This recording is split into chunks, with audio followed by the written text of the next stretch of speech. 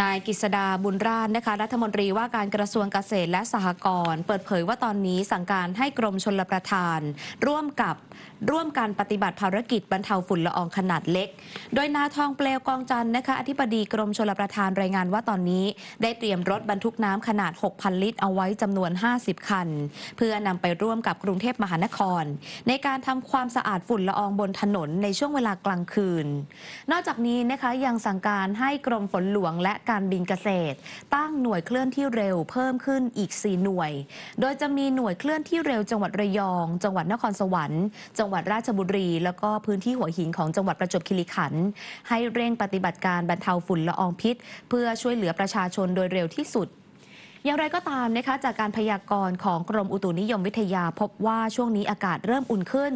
บริเวณความกดอากาศสูง หรือมวลอากาศเย็น ที่แผ่ลึกลงมาถึงภาคกลางและกรุงเทพถอยกลับขึ้นไปอยู่บริเวณภาคเหนือแล้ว เพราะฉะนั้นลักษณะแบบนี้จะทำให้มีโอกาสเกิดเมฆตามธรรมชาติสูงขึ้นกว่าช่วงที่ผ่านมา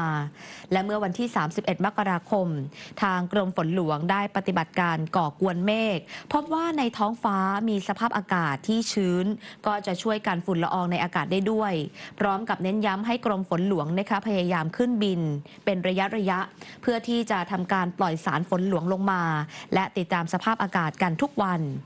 ในขณะที่นาวาอากาศโทปิยะตีการนนท์นะคะประธานกรรมการบริษัทบางกอก Aviation Center หรือว่าโรงเรียนการบินกรุงเทพเปิดเผยว่าเมื่อช่วงเช้าของวันนี้นะคะมีการประชุมใน 3 ประเด็น ก็คือความพร้อมของนักบิน ความพร้อมของเครื่องบิน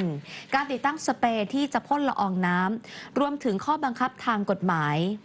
โดยในส่วนของการติดตั้งสเปรย์นะคะได้ตัวแทนจากมหาวิทยาลัย 3 แห่ง ที่มีความเชี่ยวชาญด้านวิศวกรรมมาให้ข้อมูลเรื่องนี้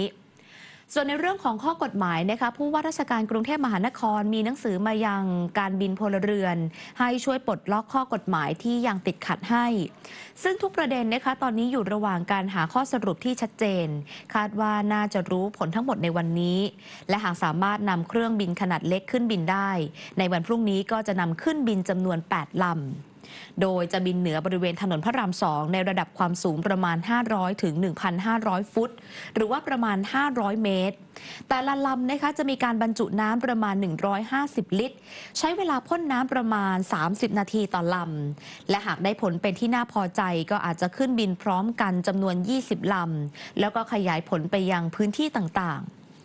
นาวาอากาศโทปิยะนะคะยอมรับว่าการบินพร้อมกัน หรือว่าการบินหมู่อาจจะมีอันตราย แต่อยากให้เข้าใจว่าเป็นการบินในระนาบเดียวกัน แล้วก็จะแบ่งเป็นหมู่หมู่ละสี่ลำ มีการรักษาระยะห่าง การแยกการปฏิบัติภารกิจ โดยในวันอาทิตย์หากบินพร้อมกัน 8 ลำ ก็จะแบ่งเป็น 2 หมู่ หมู่ละ 4 ลำ ส่วนคนที่บินก็คือครูการบินจำนวน 80 คน ซึ่งทุกคนนั้นมีประสบการณ์การบินสูง โดยเฉพาะการบินหมู่ ยืนยันว่าปฏิบัติการครั้งนี้ไม่ได้ทำเกินความสามารถ และคำนึงถึงความปลอดภัยเป็นสำคัญค่ะ